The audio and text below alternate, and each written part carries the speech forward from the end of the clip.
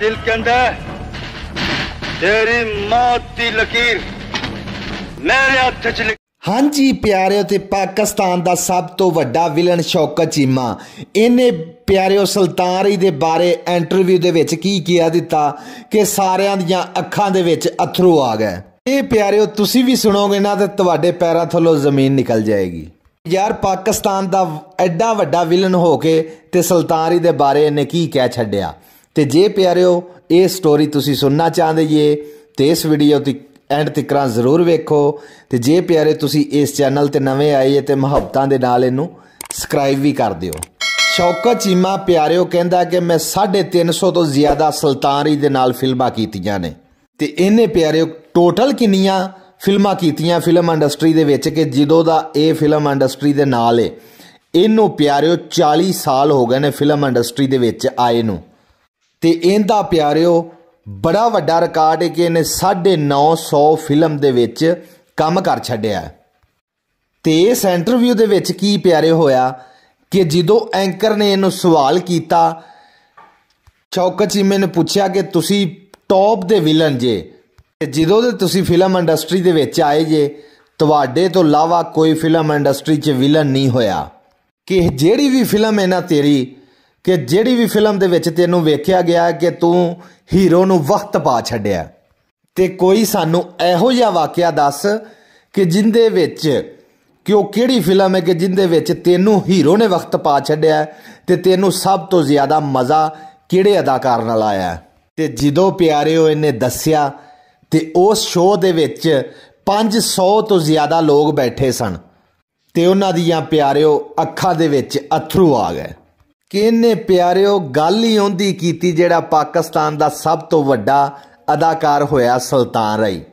सभी से तुम काम करते हो किससे मजा आता है काम करने का तो मैंने कहा सुल्तान अल्लाह ने सुल्तान रही को एक ही पैदा की ਕਿ ਕਹਿੰਦਾ ਹੈ ਕਿ ਮੈਂ ਕੁਰਾਨ ਨੇ ਹਿਫਜ਼ ਕੀਤਾ ਹੈ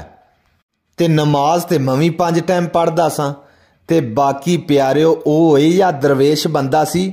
ਕਿ ਯਾਰ ਫਿਲਮ ਦੇ ਸੈੱਟ ਤੇ ਉਹਨੇ ਕੰਮ ਕਰਨਾ ਤੇ ਫਿਲਮਾਂ ਦੀਆਂ ਗੱਲਾਂ ਕਰਨੀਆਂ ਤੇ ਜਦੋਂ ਵੀ ਉਹਨੇ ਫਾਰਗ ਬਹਿਣਾ ਨਾ ਤੇ ਉਹਨੇ ਰੱਬ ਦੀ ਤਬਲੀਗ ਕਰਨੀ। ਤੇ ਪਿਆਰਿਓ, ਸ਼ੌਕਤ ਚੀਮਾ ਕਹਿੰਦਾ ਹੈ ਕਿ ਸਭ ਤੋਂ ਜ਼ਿਆਦਾ ਮੈਨੂੰ ਮਜ਼ਾ ਕੰਮ ਕਰਨ ਦਾ ਆਇਆ ਹੈ ਤੇ ਹਾਜੀ ਸੁਲਤਾਨ ਰਾਈ ਨਾਲ। ਤੇ ਜੇ ਪਿਆਰਿਓ, ਮੈਂ ਬੜੀ ਕੋਸ਼ਿਸ਼ ਕੀਤੀ ਕਿ ਮੈਂ ਇਹਦੇ ਤੋਂ ਉਤਲੀ ਸਤਾ ਤੇ ਡੈਲੰਗ ਬੋਲਾਂ। ਕਹਿੰਦਾ ਕਿ ਮੈਂ ਟਿਲ ਲਾ ਕੇ ਬਹਿ ਜਾਂਦਾ ਸਾਂ ਕਿ ਮੇਰਾ ਡੈਲੰਗ ਉੱਤੇ ਜਾਵੇ। ਤੇ ਕਹਿੰਦਾ, ਜਦੋਂ ਹਾਜੀ ਸੁਲਤਾਨ ਅੱਗੋਂ ਬੋਲਦਾ ਸੀ ਨਾ, ਤੇ ਉਹ ਤੇ ਪਿਆਰਿਓ ਧਰਤੀ ਹਿਲਾ ਕੇ ਰੱਖ ਦਿੰਦਾ ਸੀ। ਕਹਿੰਦਾ ਕਿ, ਯਾਰ, ਫਿਲਮ ਦੇ ਸੈੱਟ ਦੇ ਉਹਨੇ ਇੰਜ ਗੱਲ ਕਰਨੀ ਏ ਕਿ ਜਿਸ ਤਰ੍ਹਾਂ ਯਾਰ ਉਹ ਹਕੀਕੀ ਵਾਕਿਆ ਹੀ ਬਿਆਨ ਕਰਨ ਡਿਆ ਤੇ ਹਕੀਕੀ ਸ਼ੂਟਿੰਗ ਹੀ ਕਰਦਾ ਹੈ। ਤੇ ਜਦੋਂ ਪਿਆਰਿਓ ਇਹਨੇ ਕਿਹਾ ਕਿ ਜਦੋਂ ਹਾਜੀ ਸੁਲਤਾਨ ਹੀ ਇਸ ਦੁਨੀਆ ਤੋਂ ਟੁਰ ਗਿਆ ਤੇ ਕਹਿੰਦਾ ਕਿ, ਯਾਰ, ਸਾਨੂੰ ਉਸ ਤੋਂ ਬਾਅਦ ਚੱਸ ਹੀ ਨਹੀਂ ਆਈ ਤੇ ਮਜ਼ਾ ਹੀ ਨਹੀਂ ਆਇਆ। ਤੇ ਕਹਿੰਦਾ ਕਿ ਸਾਡੀ ਤੇ ਫਿਲਮ ਇੰਡਸਟਰੀ ਉਦੋਂ ਯਾਰ ਖਤਮ ਹੀ ਹੋ ਗਈ ਤੇ ਨਾਲ ਯਾਰ ਹੁੰਦੀਆਂ ਅੱਖਾਂ ਦੇ ਵਿੱਚ ਅਥਰੂ ਆ ਗਏ ਤੇ ਜਿਹੜੇ 500 ਲੋਕੀ ਵੇਖਣ ਵਾਲੇ ਸਨ, ਉਹਨਾਂ ਦੀਆਂ ਵੀ ਪਿਆਰਿਓ, ਲੂ ਕੰਡੇ ਖਲੇ ਹੋ ਗਏ ਤੇ ਅੱਖਾਂ 'ਚ ਅਥਰੂ ਆ ਗਏ ਤੇ ਪਿਆਰਿਓ, ਇਹਦਾ ਇੰਟਰਵਿਊ YouTube ਤੇ ਪਿਆ ਜੇ, ਜਾ ਕੇ ਸੁਣ ਲਿਆ ਜੇ। ਸੁਣਾਓ, ਪਾਕਿਸਤਾਨ ਦਾ ਕਿੱਡਾ ਵੱਡਾ ਵਿਲਨ ਹੋਇਆ ਸ਼ੌਕਤ ਚੀਮਾ ਤੇ ਇਹਨੇ ਵੀ ਪਿਆਰਿਓ, ਹਾਜੀ ਸੁਲਤਾਨੀ ਦੀ ਤਾਰੀਫ ਹੀ ਕੀਤੀ। ਤੇ ਇਸ ਇਹਦੇ ਤੋਂ ਵੱਧ ਕੇ ਚੜ ਕੇ ਕੋਈ ਨਹੀਂ ਕੰਮ ਇਹਦੇ ਨਾਲ ਕਰ ਸਕੇ ਤੇ ਜਿੰਨੇ ਵੀ ਉਹਦੇ ਨਾਲ ਕੰਮ ਕੀਤਾ ਹੈ ਨਾ, ਉਹ ਕਹਿੰਦਾ ਯਾਰ ਉਹਦੇ ਨਾਲ ਹੀ ਚੱਸ ਆਂਦੀ ਏ ਕਿ ਜਿਸ ਤਰ੍ਹਾਂ ਕਿ ਮੈਡਮ ਬਹਾਰ ਹੋ ਗਈ, ਅਦਾਕਾਰਾ ਅੰਜਮਨ ਹੋ ਗਈ, ਕਿ ਜਿਨ੍ਹਾਂ ਦਾ ਵੀ ਨਾਮ ਬਣਿਆ ਹੈ ਨਾ ਇਸ ਟਾਈਮ ਉਹ ਪਿਆਰਿਓ ਹਾਜੀ ਸੁਲਤਾਨਰੀ ਦੇ ਨਾਲ ਉਹਨਾਂ ਜੁੜ ਕੇ ਕੰਮ ਕੀਤਾ ਤੇ ਤਾਂ ਹੀ ਉਹਨਾਂ ਦਾ ਨਾਮ ਬਣਿਆ ਹੈ।